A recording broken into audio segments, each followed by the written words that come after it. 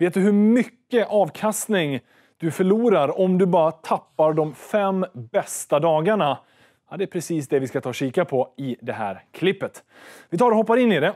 Eh, de bästa och de sämsta dagarna har vi brutit ut här och kollat på. Och vi ska kika på hur stor effekt det får på den totala avkastningen på börsen. Bara de här fem bästa eller sämsta. Och nu har jag kollat på hela Stockholmsbörsen de senaste 20 åren. Och de fem bästa datumen ser du till vänster och sen i mitten då de fem sämsta. Och det brukar vara då kring 9-10% som det i den bästa eller värsta fall stiger eller faller. Så det har varit lite olika tillfällen, ofta kring någon form av krasch.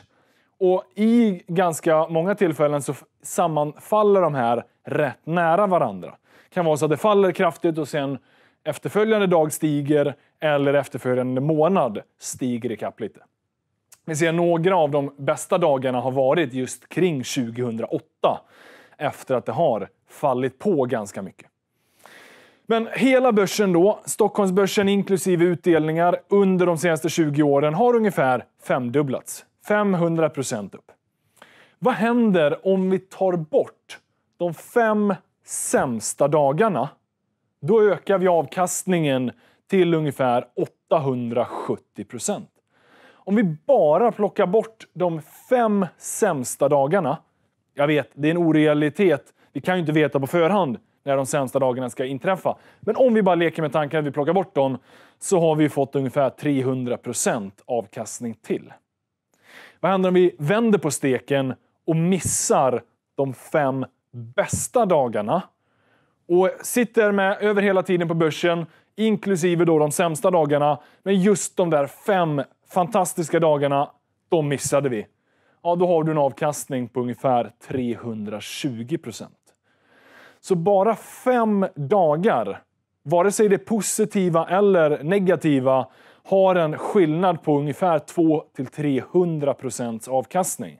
Det är ganska fascinerande hur stor effekt det får i det långa loppet. Ja, men vad är lärdomen av det här då? Jo, att ska vi nu investera på lång sikt, då ska vi investera på lång sikt. Det är vanskligt att försöka tajma marknaden. För har du nu oturen att ligga utanför marknaden just den där fantastiska dagen när det återhämtade sig, ja, då kan det där göra att du sänker totalavkastningen väldigt, väldigt mycket. Så att i både yr och skur så ska vi ligga kvar på börsen, både de positiva och de negativa dagarna. För i det långa loppet så har ju börsen gett en bra avkastning. Hoppas det gav dig i alla fall någon typ av tankeställare och framförallt övertygat dig om att hålla dig till ditt långsiktiga investerande. Oavsett om det är bra eller dåliga börsdagar i det långa loppet. Tror du på börsen, ja men då ska du ligga investerad.